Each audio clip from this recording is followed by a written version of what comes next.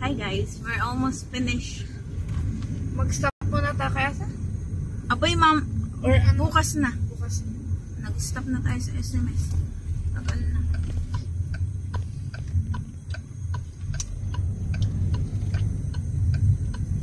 It's currently 17 degrees guys today.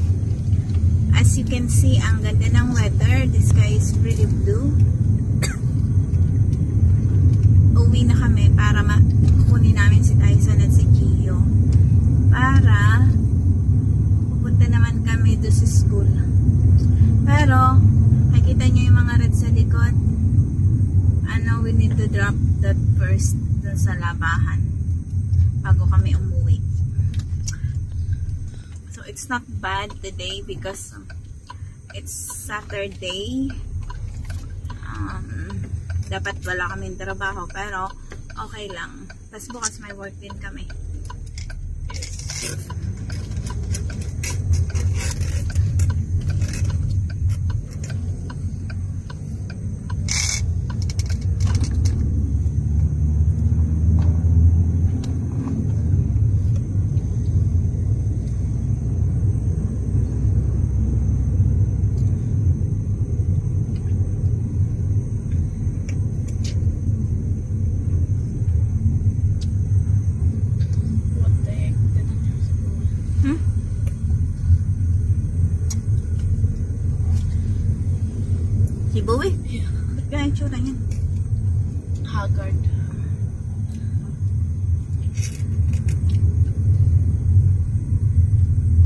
He's just ano, came from Spain.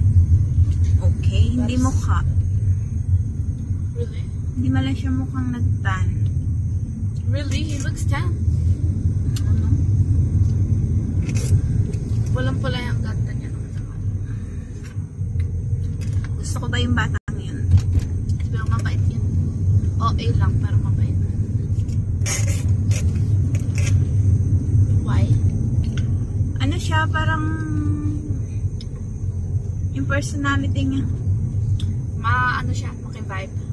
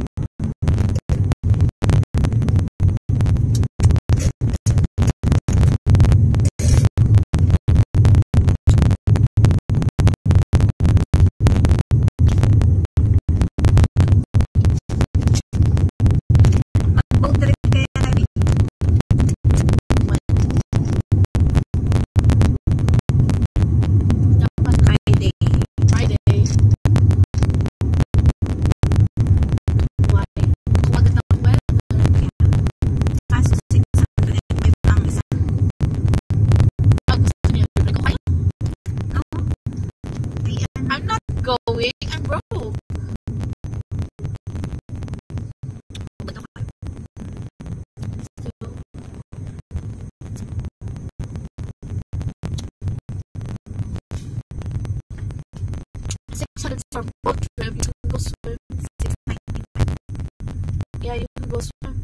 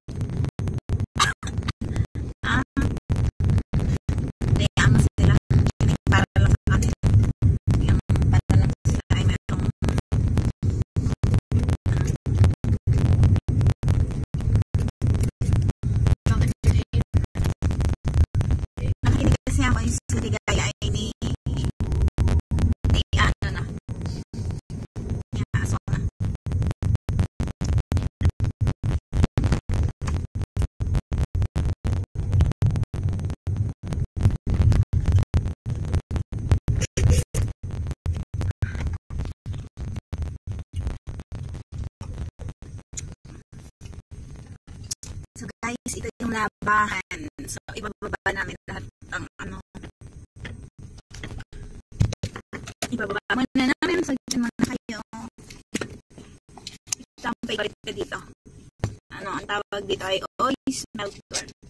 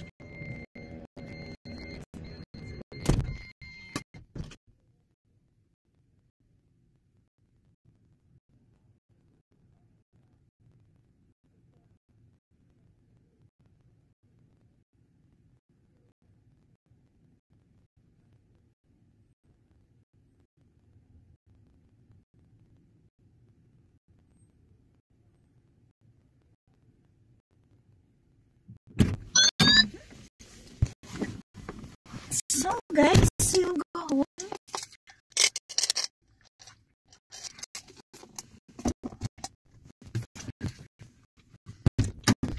Clock out.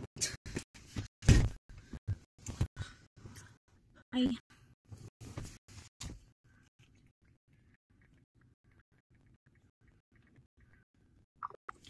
So, we need to log out, guys.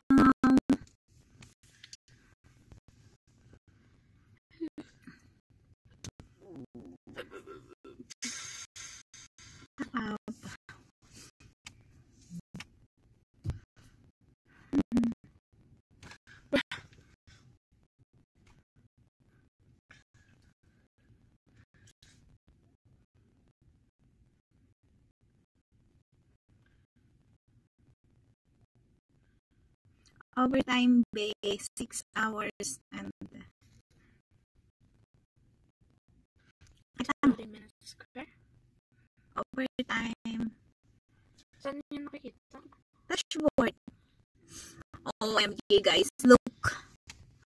Our time of work, yung red ay overtime. Bukas ulit. Tapos tomorrow ulit.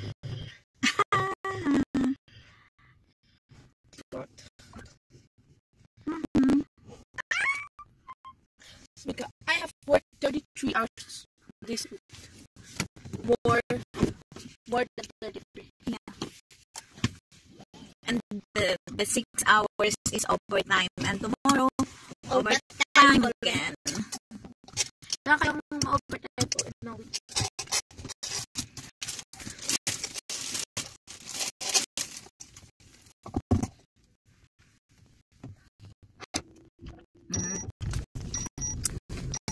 So guys, sa 13 listen I will give 25 kilos of Right. rice At ulam.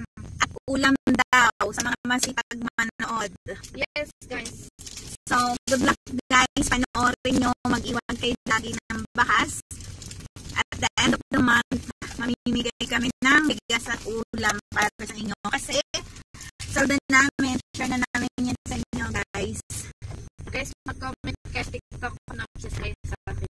Ano yan? Shorts. Mm.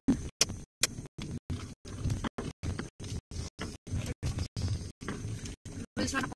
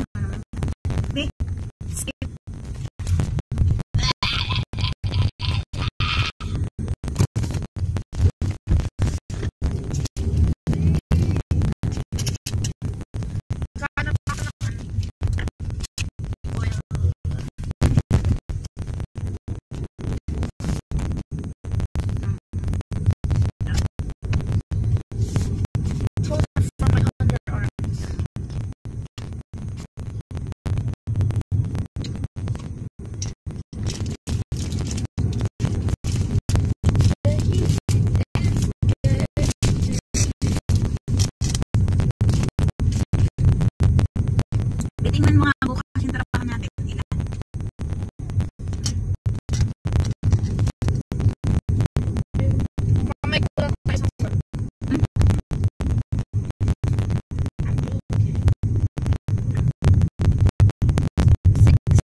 Six? Lahat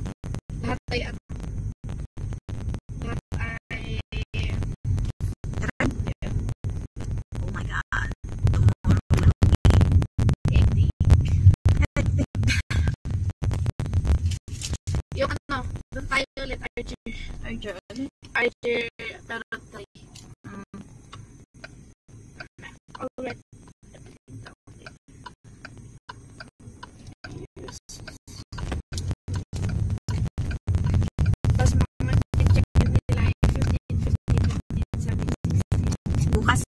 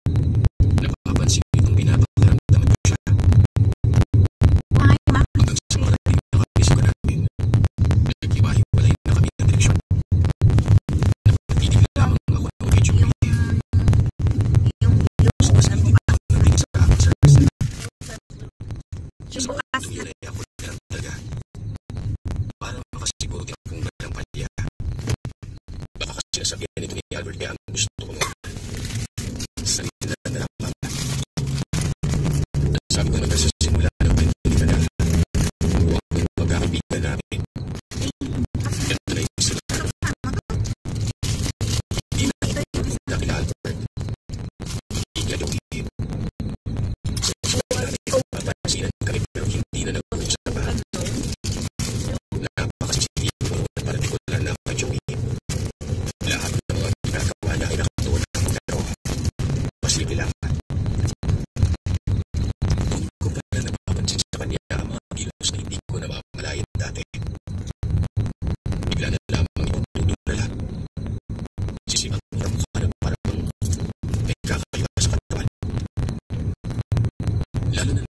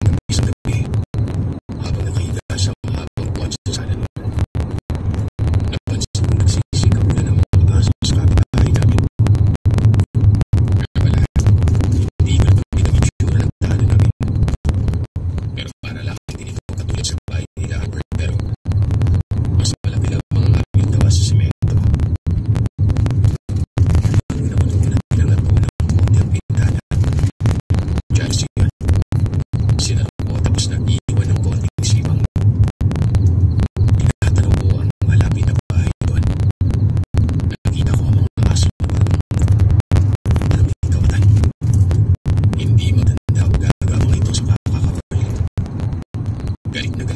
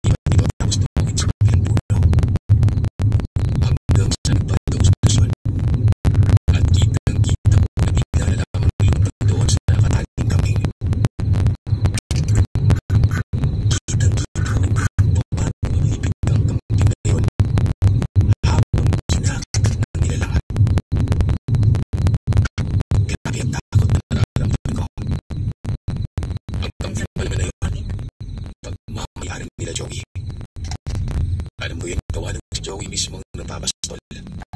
Pero kahit takot na takot na ako, ay naroon pa rin ang pagnanais na maliwanagan ang isip ko.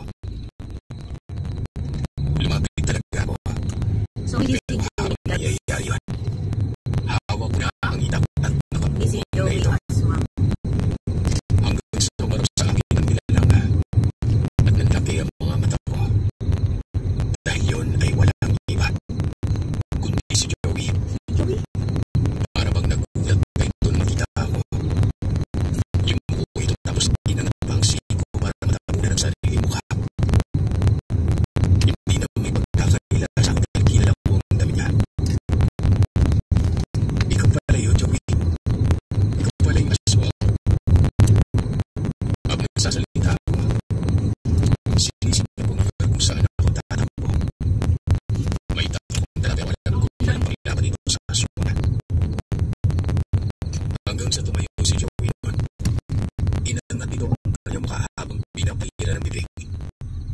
Kitang kita ko ang kanyang mga mata na pumigil sa luha. Rinig ko pa naman ang bibig niya. Ang sabi sa akin ay yung